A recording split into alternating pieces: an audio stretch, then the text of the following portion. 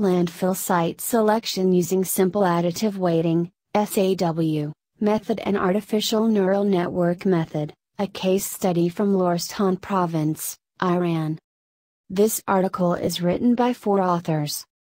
First author E. Mokhtari from PhD of Engineering Geology Department, Tarbiat Modares University, Tehran, Iran. Second author M. Khamehchiyan from Professor of Engineering Geology Department, Tarbiat Modares University, Tehran, Iran. Third author G. Montazer from Associate Professor of Information Technology, School of Engineering, Tarbiat Modares University, Tehran, Iran.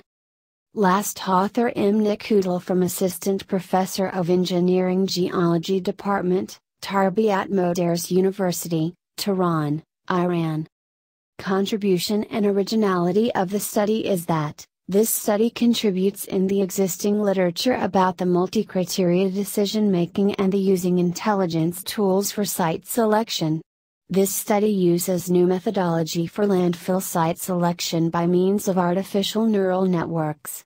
This study originates new model for site selection based on the geological and geographical data.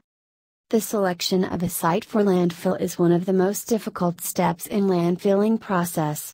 Several techniques and methods have been used in a sanitary landfill site selection in the literature. In this paper two methods consist of a method based on the artificial neural network method and simple additive weighting method have been used to landfill site selection in Lorestan province, Iran and the results of two methods compare to each other.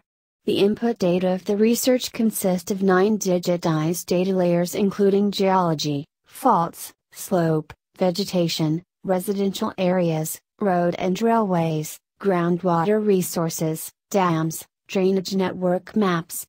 The land suitability map prepared by means of simple additive weighting method has been grouped in five categories with 0.5 intervals, I, 0 to 2.5. Derived map from the neural network modeling exhibit a gradual suitability for a landfill site. With SAW method that was used in the first step of the research, most of the area is considered unsuitable while by the neural network method, the area with high suitability covers different parts of the study area. One of the most characteristics of the neural network methods is flexibility. The maps that are provided by these methods help the decision makers to select areas with a high suitability value and then proceed to field investigations according to the level of enforcement of the other policies. Thanks for watching this video of Pak Publishing Group of International Journal of Geography and Geology